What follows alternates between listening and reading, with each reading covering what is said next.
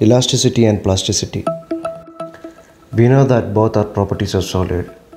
And any type of loading, for example, normal, shear, or mixed loading, can result in either plastic or elastic deformation. Before doing a comparison study, let us see what is elasticity and plasticity of the material. First, elasticity. Just imagine I am applying a load on a material. Normally, when a load is applied on a material, the material tend to deform. When such deformation is very small, the structure can recover its original shape and size once the external load is removed. So such a deformation which is temporarily and easily recoverable is called elastic deformation. In other words, the ability of a material to deform under a load and return to its original shape when the load is removed is called elasticity. If you take an example of a spring, when you apply force, the spring will deform. When you remove the force, spring will return to its original shape. From this stress strain diagram, we can understand that the stress is directly proportional to the strain during this elastic region. And that is represented as a straight line because most engineering materials display linear behavior within this elastic region. That means the amount of deformation is directly proportional to the amount of load acting on a material in this elastic region. Can you say which material is more elastic, the rubber or steel? If you don't understand elasticity, you may say rubber is the most elastic material. Because most of the people think that elasticity and flexibility is same. But that is not same.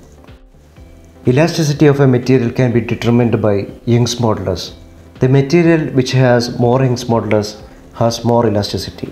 Let us consider rubber and steel wire of same length and same cross section. For example, the rubber and steel wire uh, length which I have is 100 mm. If I want to apply a force to increase the length to 105 mm, the Young's modulus would be stress by strain equal to force by area. Stress is equal to force by area and strain is changing length by original length. So we know that the force required to stretch the steel wire would be much much higher than the force required for the rubber. Therefore, F2 is greater than F1. That means F2 stands for the force required to pull the steel wire from 100 mm to 105 mm and F1 is the force required to pull the rubber wire from 100 mm to 105 mm. Therefore, the Young's modulus of steel is always greater than rubber. So we can conclude that the elasticity of steel is higher than the elasticity of rubber. Next, plasticity.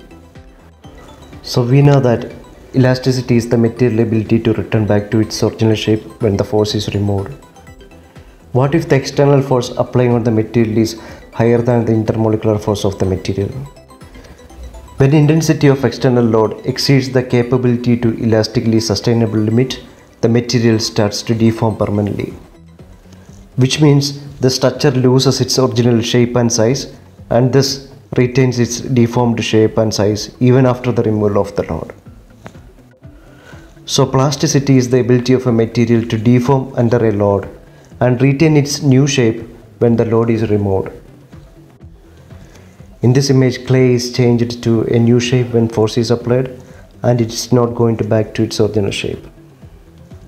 In this stress strain diagram, you can see the elastic region and plastic region. The stress strain diagram is non-linear in the plastic region for all the materials. Let me read out the comparison study between the elasticity and plasticity. First, the elastic deformation is a temporary deformation under the action of external loading, whereas plastic deformation is the permanent deformation. Second, the amount of elastic deformation is very small, but the amount of plastic deformation is quite large.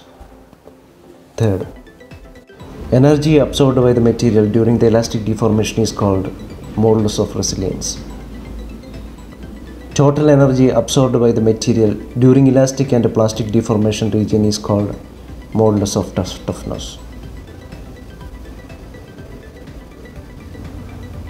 Fourth, most solid material display a linear stress strain behavior within the elastic region, whereas stress strain curve is non-linear in plastic region.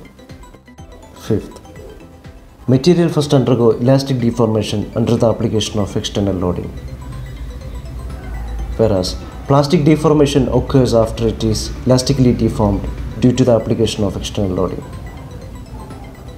Sixth, mechanical and metallurgical properties of solid material remains unaltered when it is elastically deformed. Whereas many properties of solid material changes considerably for plastic deformation. Next, similarities between elasticity and plasticity. We know that both are properties of solid. Any type of loading, normal, shear, or mixed, may result in elastic or plastic deformation. Also, we know that the plastic deformation can occur only after the material is elastically deformed. So, without elastic deformation, plastic deformation is not possible. So, these properties, elasticity and plasticity, would be considered while selecting a material or the design, and it has multiple uses based on the application. Let us see some of the uses of elasticity and plasticity. Elasticity is important when you consider a material for a machine tool structures or when you build a bridge or other civil frames, an equipment's body or outer frame, and many household structures because we want material which is unique, which can absorb a lot of energy uh, without any changes during the normal usage conditions. Similarly, the plasticity is also important when you consider for sheet metal working, various forming operations such as rolling, forging, extrusions, etc., rivet joining, and many other applications similar to that.